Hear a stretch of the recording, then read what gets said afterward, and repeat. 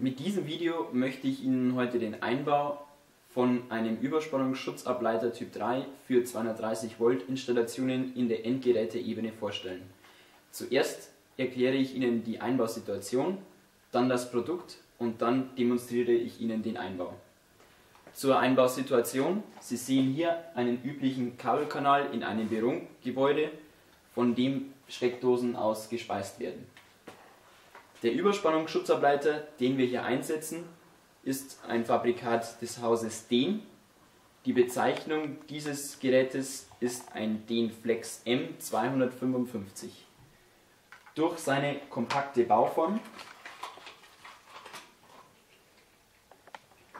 können wir diesen in Unterflursysteme, Geräte, Einbaudosen oder auch, wie in unserem Fall, in Unterflur- oder Kabelkanäle installieren. Das Gerät hat eine akustische Defektanzeige, welche bei einem Defekt des Ableiters einen schrillen Signalton von sich gibt. Zum Anschluss finden wir bereits vorkonfektionierte Anschlussdrähte mit einer Länge von 12 cm. Der Verpackung liegt eine ausführliche Einbauanleitung vor,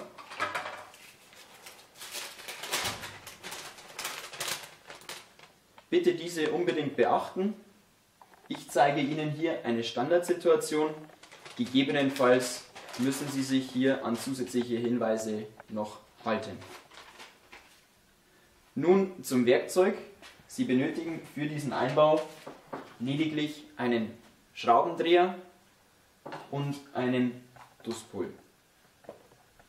Nun können wir mit dem Einbau beginnen.